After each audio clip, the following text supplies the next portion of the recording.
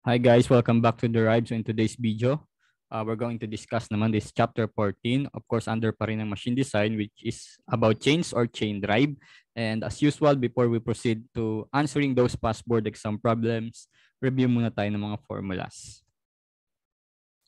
Siyempre, ano, uh, ano muna nga ba uli ang chain? So chains or chain drive is a way of transmitting mechanical power from one place to another most often, the power is conveyed by a roller chain known as the drive chain or the transmission chain. Uh, chain. From the word itself, the power, so chains, kagaya ng uh, belts, kagaya ng wire ropes, pati na rin yung ibang uh, elements, is member of the flexible power transmitting elements. So, Siyempre, purpose niya is to transfer power from one place to another as per the definition.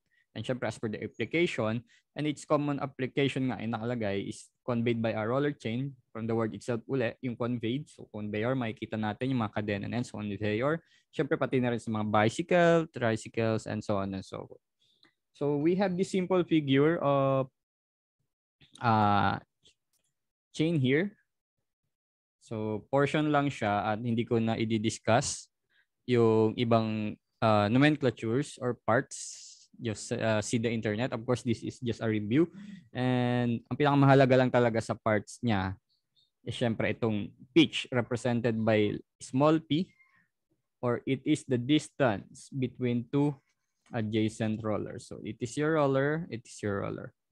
Of course, we have these designations. RCXY. Obviously, RC represented by roller chain, kaya RC.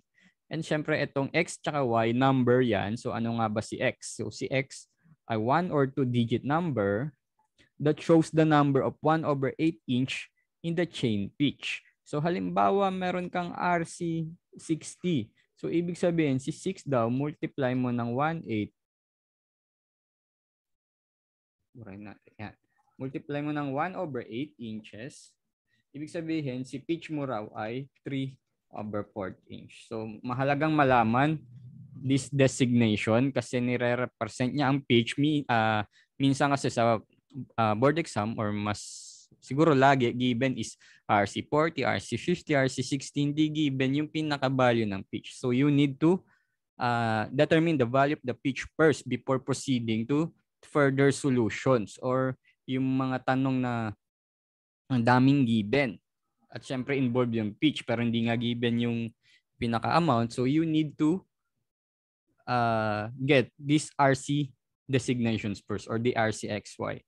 So yan yung X and of course this Y as the applications. So Y is equal to 0 for chains of useful proportion. So yung mga lagi nang binibigay, yung mga 4, RC40, RC60, RC200, etc. So Y is equal to 1 daw for lightweight chain o yung magagaan. So that was RC41 and y is equal to 5 daw uh, if the chain is the rollerless bushing chains that was RC25 and RC35. Pero pinakagamitin talaga is itong y is equal to 0 or uh, chains of usual proportions. Of course, uh, pakita lang natin ang picture ng isang sprocket. So this is the pitch diameter represented by capital D And of course, this is uh, the bore diameter represented by uh, small d. And of course, ito yung mga chains mo. Uh, bilog na lang yung aking dinrawing para hindi mahirap. Uh, so, ito yung pitch niya nakalahati. Kasi itong, uh, ito tsaka ito, ito yung pinaka uh, distance between two adjacent rollers. So, ito yung pinaka pitch niya. Ayan. Tapos ito, it is just the half of the pitch. So that was pitch over 2. And of course, it corresponds to have an angle theta. So kapag dinerive natin yan or ginamit natin ang trigonometric uh, approach, we're going to have a formula of D or the pitch diameter of sprocket is equal to pitch over sine 180 over nt. So this nt corresponds from the number of teeth. Again, this small p is the chain of pitch. D is your sprocket bore, and capital D is your pitch diameter. Of course, this is inch. This is inch. Ito wala namang uh, unit. So, kung ano yung hanap between uh, chain pitch or diameter. So, that should be in inch.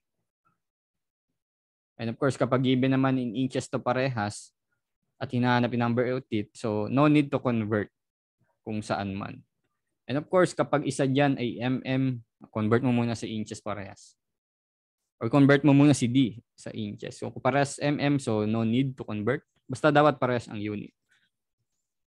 So, we have this also the estimation formulas for the chain pitch. So, may sarili pa lang din formula si chain pitch na ginagamit talaga sa design which is pitch uh, should not be, ah, pitch is less than or equal to 900 divided by N1 raised to 2 third. So si N1 ay tumutukoy sa RPM, the small or faster sprocket. Okay, so from, uh, sinabi na nga RPM. Kailangan RPM ito. So makakuha ka ng pitch in inches. Dapat ang result niyan is less than or equal to pitch ah, greater than or equal to pitch. Si pitch ang less than or equal dito sa sagot. So malaman natin mamaya kung paano siya gamitin sa mga problems. And of course, kung si belt ay may total length, meron din siyang chain length. So L is equal to number of teeth, yung dalawang sprocket, just the average of that, plus 2CP plus the difference of the two number of teeth, square mo yon divided by 40 CP. So, in order to memorize this, kailangan tanda mo yung length of belt which is pi over 2, the sum of two diameters, plus twice the center distance, plus the difference of the two diameters in squared mo yon over 4c. So, kagaya naman dito, ang mangyari lang, nagiging 40 itong ilalim, and of course, this D1, D2 just replace it by NT1 and NT2 as your number of teeth. And of course, this C as the center distance, just, just replace it by CP, which is happen to be, ang sabi, center distance between sprocket in pitches. So, pag sinabing center distance is 80, hindi agad yon Kailangan naka-pitches siya. Kailangan CP siya. And of course, this NT1 and NT2 is the number of teeth and the small, large sprocket respectively. And this length is uh, length of chain in pitches, links, or teeth, preferably even number to avoid the use of an offset link. Okay, kapag ang nakuha mong sagot, guys, ay, ay 203, so iusod mo into 204 in order to avoid the use of an offset link or to remove an extra link. No, so 203, di magtatanggal ka ng isa. 202. Siyempre, usod mo na lang into 204 to avoid the to avoid the remove or the use of an offset link. So tingnan natin sa problem mamaya kung kailangan gawin yon. Of course, may formula si CP or the center distance between sprockets in pitches and that was the C as the center distance in inches or mm times 1 over pitch. So pag nakuha na, uh, kunyari ito ay 60, ang center distance 60 inches at nangyari ang pitch mo daw ay 3 fourths kasi RC60 ang gamit, hindi dahil, uh, guys, hindi dahil RC60 to ay 16 center distance. Uh, it, it's just an amount. So sabi nga, baguhin ko ng 80 para di kayo malito. So it happens that your center distance is 80 and your pitch is 3 port because you are using uh, RC60. So ang magiging CP natin is 80 times uh, 1 over 75 inches, 0.75 inches kasi 3 fourths is 0.75. So that will become 106.67 inches. So kung CP mo na, uh, kung ang center distance mo naman is 60 inches and still you are using 1 over 60, uh, RC60 rather, so that will be 60 over 0.75 and that was 80 pitches. So yun yung uh, yun yung unit niya guys, pitches. Kaya nga siya naka-CP eh. P. Kasi ang C mo is in inches or mm at ang CP mo naman is in pitches, links, or teeth. Kagaya ng unit nitong chain length. Okay. So we have this average good center distance for chain drive. Ang sabi, uh, pinaka-good daw na distansya, center distance of the two sprocket is D2 plus D1 over 2. So ano ba yung D2? Of course, that was the bigger sprocket plus the half of the smaller sprocket. Of course, we have also this rule, yung iba dyan galing sa machinery handbooks, that the minimum center distance should be less than or equal to 1.5 of the uh, larger sprocket. So the preferred center distance naman daw is 30 pitches to 50 pitches. And ang pinaka-approved daw na maximum distance is this 80 pitches. Of course, hindi lamang uh, mga power at kung ano pa mang uh, parameters ang bida sa mga flexible power transmitting of uh, transmitting elements. Of course, you need to consider the speed also or the velocity. Of course, we or the chain speed. So we have this linear chain speed that is represented by Vm. Actually, ang formula niya is the product of the pitch, the number of teeth, and the speed of the sprocket. Pero we have this derived equation na equal to Vm is equal to pitch of the sprocket, number of teeth of the sprocket, and your RPM divide 12. And you're going to have a unit of feet per minute. Basta ang pitch mo is in inches, ang N na maliit mo is in RPM. Of course, it is number of teeth, walang unit. Divide mo lang ng 12, garantisado magkakaroon ka ng unit na feet per minute. And if you are going to find the missing parameter here, halimbawa, nawawala si N2 at given to at given to, pwede man naman siyang equate because the chain speed of the first bracket, of course, is equal to the second sprocket.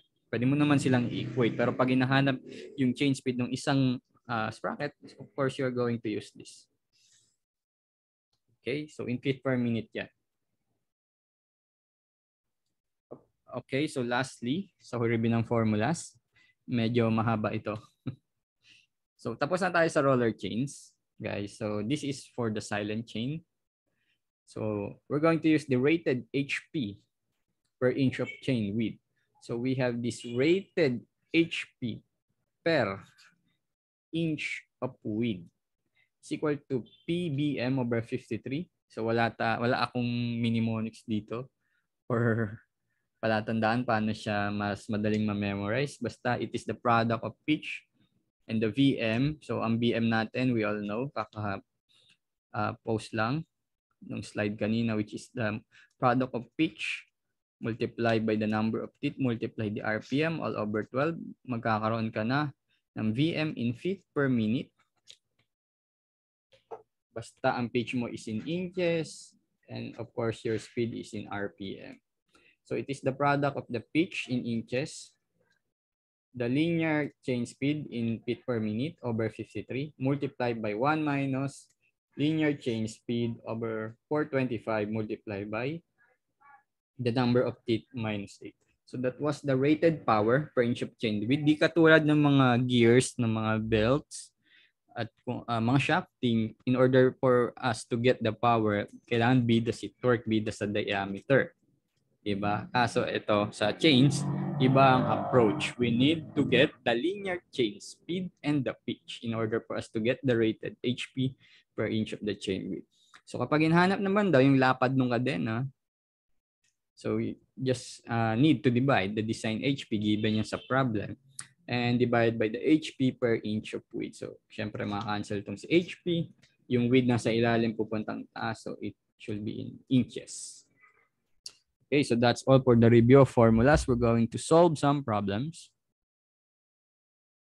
So ang sabi, the number of links of RC60 required to connect a 21-tooth and a 63-tooth sprocket 60 inches apart is So those are the choices. Uh, mainam dito pare-parehas ng unit. So kailangan natin makuha yung sagot in pitches and kagaya kanina sa formula, ang sabi the length of the chain should be in pinch in pitches, pinches. So pitches, number of links, and number of teeth. So formula, so formula wise muna tayo. Ang formula ng length of chain is the number of teeth. So i-average mo yan. Plus twice mo yung CP plus NT2 minus NT1 squared all over 40 CP. And in order for us to get the CP, we should know the center distance and multiplied by the 1 over pitch. So isa-isahin muna natin yan. So ang sabi, connect a 21 and 63 tooth meaning ang NT1 natin is 21. And of course, our second number of teeth is 63. Dalawa lang naman lagi yan. And syempre, we're going to get the CP. So, ang center to uh, center distance, ang sabi, 60 inches apart multiplied by 1 over pitch. And it happens that the given RCXY is RC60.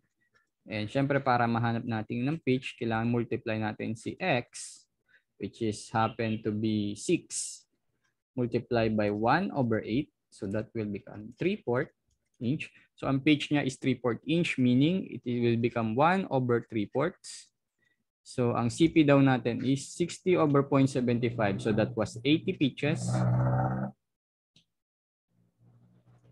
So pwede na nating i-direct sub dito kasi may na value na lahat, number of teeth, CP, ayun, so meron na.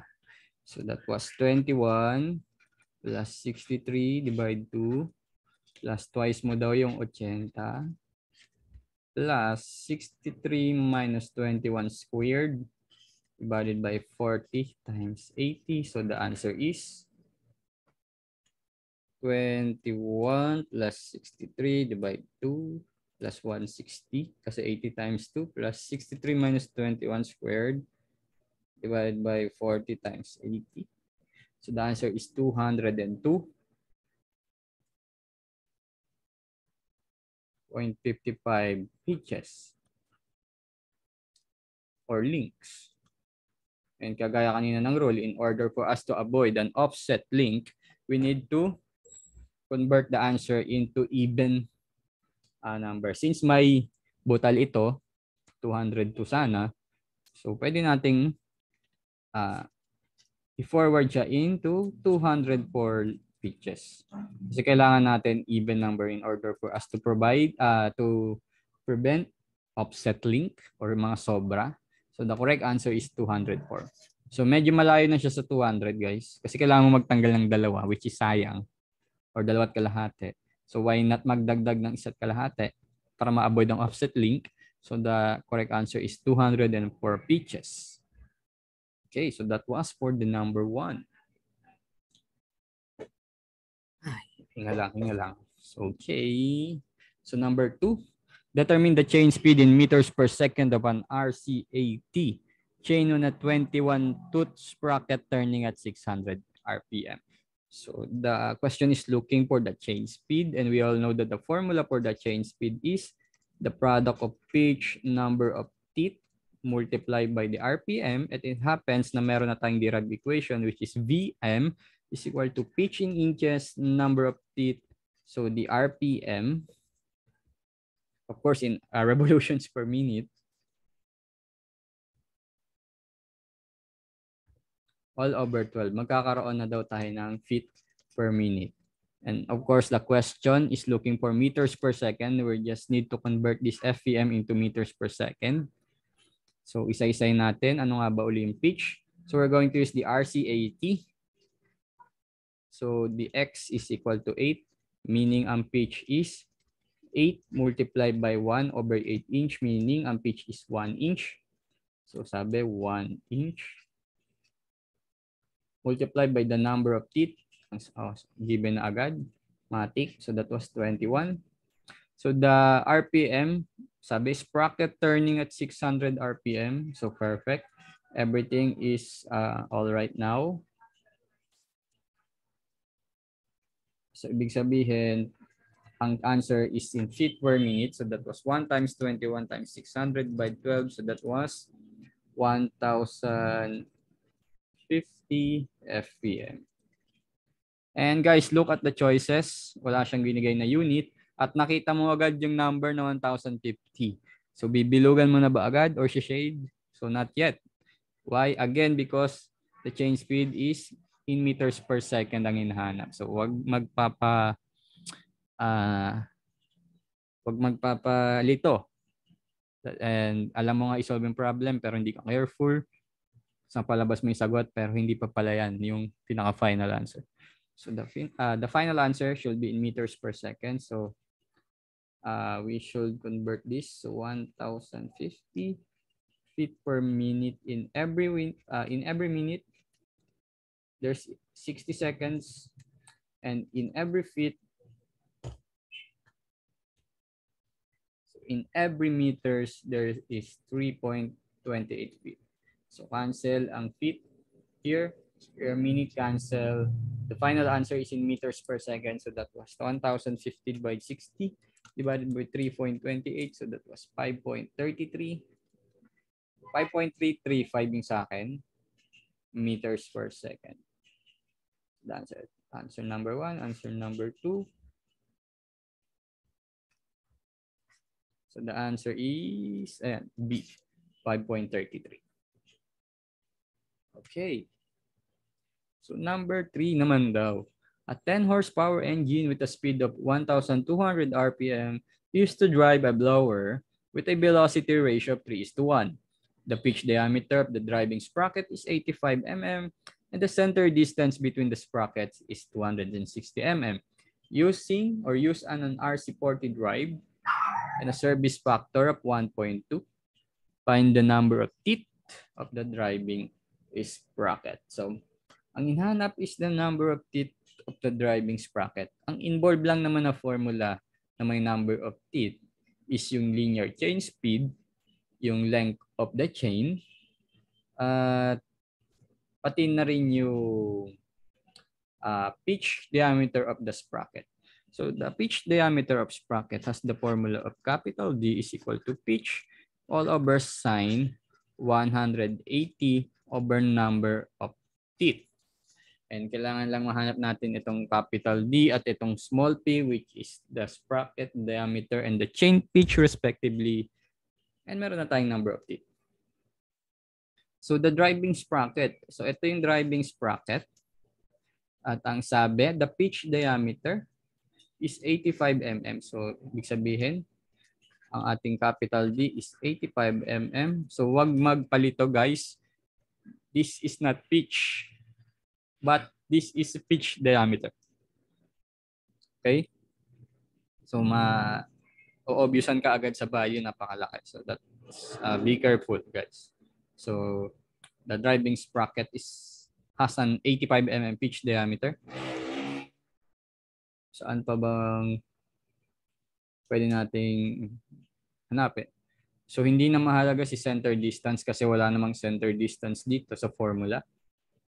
And may sinabi na RC40 which is dito, pwede natin makuha yung pitch at hinahanap natin to para makuha yung number of feet. So meron tayong capital D, we're looking for the small p which is the pitch. And using RC40, meaning ang x natin is equal to 4, multiply natin ng 1 over 8 inch. So ang makukuha na natin is pitch is equal to 4 over 8 or 1 half inch. So meaning may pitch na tayo, may diameter na tayo. And be careful again guys. Kailangan inches ito or mm at kailangan parehas na inches ito or mm. So in this case, the given is magkaiba. mm here and this is inches. So kailangan diyan isa magparaya na ma-convert. So in every mm, we all know that there is one inch. Uh, there uh, in every inch, rather there is a uh, parang paling lahat ng lines ko in every inch, there is a 25.4 mm. So that will be equal to 85 divided by 25.4. So that was 3.346 inches. So pares na sila ng unit. Therefore, pwede na nang i-direct sub. So that will become 3.346 inches is equal to 1 half inch divided by sine 180 over number of teeth So, meaning, ang number of teeth natin is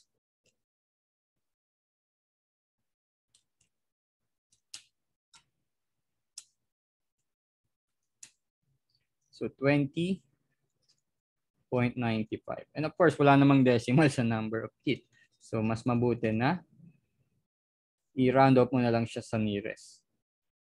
So, ibig sabihin, it will become 21 teeth. So the number of teeth is 21. So the answer obviously is letter B. Okay. So number four, what RC chain number are you going to use if you want to maximize the sprocket, uh, sprocket usage at 1500s RPM or 1500 RPM. So paano kaya nga tayo mamimili dito? Hindi pwedeng manghula lang basta one point din to guys sa board. Okay, so as you remember guys, we have the estimation formula of the pitch which is happen to be the pitch should be less than or equal to the ratio of 900 and the RPM of the smaller sprocket raised to two-thirds. Okay? So, kailangan makuha muna natin yung RPM na to. So, bago tayo makapag-decide anong pitch ang gagamitin. At kapag nakuha na natin yung pitch, kukunin lang natin yung isa-isang pitch neto. At kailangan yung pitch neto na magagamit natin ay mas mababa sa makukuha nating sagot dito. Tapos kung ano yung pinakamalapit na pinakamababa, yun yung gagamitin natin. So, isa-isahin natin. So, gamitin mo natin formula na ito. So, pitch is 900 over N1. So, isa lang naman giving RPM. So, that was the 1,500 raised to two-thirds. So, our pitch should be less than or equal to 900 divided by 1.5 raised to two-thirds. So, that was 0.71 kailangan makuha nating pitch should be less than or equal to 0.71. So isa-isayin natin. So si RC60, ang pitch niya daw is 6 multiply mo ng 1 over 8. So that was 3 fourths. And that was 0.75 inches. So pasok ba siya sa 0.71? Ay mas maliit ba siya or equal sa 0.71? So no. Meaning, we cannot use the RC60 kasi nalabag niya na agad yung restrictions dito. Sa X na to. So CB naman, RC70, so that was P is equal to 7 times 1 over 8. Of course, that is 7 over 8 inches. So that was 7 divided 8, 0.875 is RC70 or 0.875 of pitch is less than or equal to 0.71? Of course not.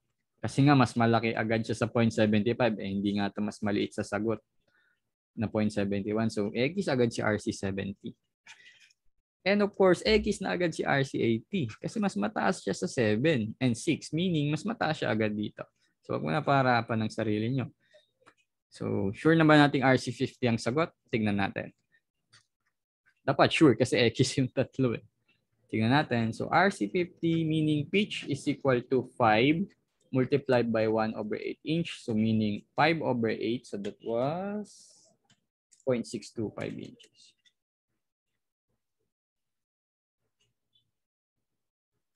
Is 0.625 less than or equal to 0.71 inches? Siyempre, mas maliit siya sa 0.71. So we're going to use the RC50. At least, uh, sunod may restriction at na-maximize mo pa yung gamit ng sprocket kasi kailangan mo gamit na RC50 and the answer is letter C. So ayan naman.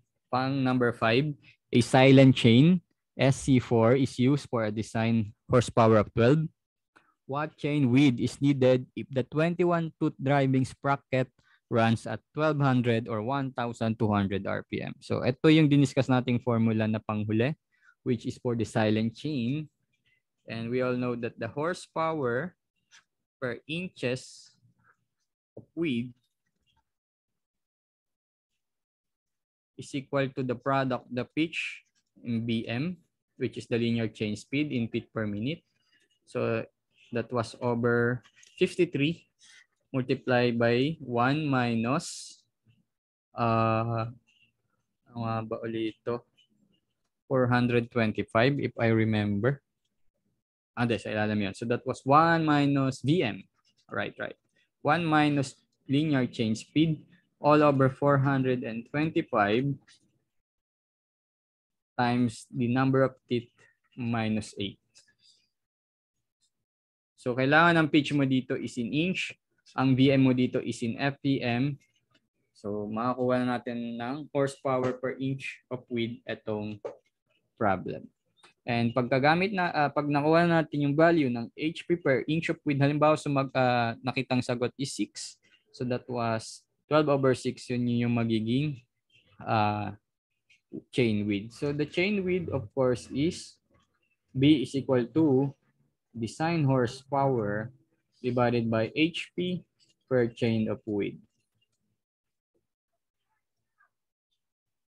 So meaning, we need to get this HP per chain of width value, divide mo sa design HP, makakuha mo na yung lapad ng kadena.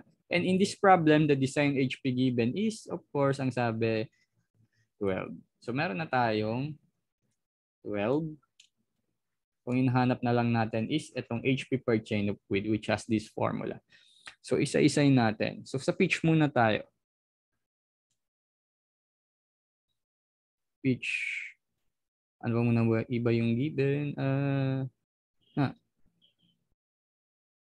Pitch, pitch. So, ang sabi SC4.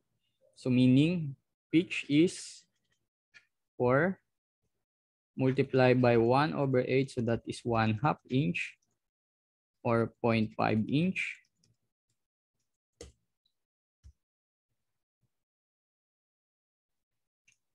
At si VM naman is in feet per minute. BM is the product of pitch, the number of teeth, the RPM all over 12. So that was 0.5 multiplied by the number of teeth. Ang sabi, that is the 21 tooth. Tooth. Tooth. 20 is 21. Sorry guys kung medyo pangit sulat ko. So driving sprocket runs at 1,200 RPM. So meron tayong number of teeth and RPM here and meron na tayong pitch. So this will be a direct substitution chain speed. So this is 0.5. The number of teeth is 21 and the RPM is 1,200 divided by 12. So that is equal to 0.5 times 21 times 1 to 200 divide 12, so that was 1,050.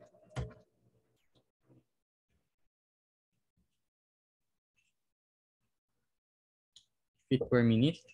So perfect, guys, kasi may feet per minute na tayo, which is 1,050. And inches ng pitch, which is 0.5. So, pwede nating i-direct sub to. So, HP per inch of width is equal to pitch. What's our pitch? So that was 0.5 inches multiplied by 1,200 all over 53. So this is an empirical formula, no? Meaning di natin alam saan dinerive. But this is uh, talagang accurate. So ang BM natin is 1,050. So this is 1,050 guys, sorry. Multiply by 425 times number of teeth is 21 minus 8. So that was 13. So meron na tayong HP per inches na unit. So that was 0.5 times 1,050 divided by 53 multiplied by 1 minus 1050 over 425 times 13 that was 8.02. 8.02 HP per inch.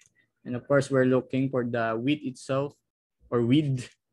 So that was B is equal to design HP of 12 all over 8.02. So meaning 12 divided our answer late uh, earlier, so that was 1.49. 567 yung sa akin. So, ibig sabihin, this is closely to 1.5 inches or 3 halves. So, the answer obviously is, of course, that was letter B. So, madali lang naman pag silent chain. Basta mahalaga, alam mo yung mga units and syempre yung formula. So, ulit-ulitin mo lang sulatin yan. Makakabisa mo rin yan. So, tapos na tayo sa 5. Tingnan natin yung 6. So ayun, terminologies na lang ito. So sabi, considered as the maximum safe center distance between sprocket is blank. pitches. Very long center distances cause catenary tensions in the chain or yung lawlaw, yung lubog, sag. That was the catenary tension. So that was way back of your engineer, uh, engineering mechanics. So ano bang sagot dito? So kanina, uh, pang ilang slide ba yun? So na, kung naaalala natin, ang sabi, the maximum approved center distance is 6 is C is equal to 80 pitches. So meaning the answer is 80. So ang sabi naman sa 7, the recommended center distance of sprocket shouldn't be less than blank times the diameter of the bigger sprocket. So we have this formula earlier that D2 or the preferred center distance pala ang sabi ay iba ano yun? Uh, 1.5 D2. Tama ba? So that was C is greater than or equal to 1.5 D2. So the answer is letter C. So tingnan natin nga kung tama yung pinaglalagay natin. And guys, ayan. Yung number 6, sabi what is the maximum center distance in pitches? So that was 80 pitches. And the minimum center distance daw is should not be blank times the uh, large or the second sprocket diameter. So that was C is greater than or equal to 1.5 dito. Meaning hindi dapat siya bababa sa 1.5 times dito. So the answer is 1.5. So balik tayo sa last slide. So yeah. The answer is 80 here and 1.5 here. Ayun guys, salamat sa pakinig. So nakatapos tayo ng chains. So ang sunod naman natin is wire ropes, gears, uh, rivets and uh, welds, tapos bearing or mauna tayong bearing, tsaka pa lang yung rivets or welds. Again, thank you guys for listening. Please subscribe to my channel and don't forget to share this. And please visit also our Facebook page na nasa link or nasa description nung ating videos. Again guys, see you on the next video. God bless and bye-bye.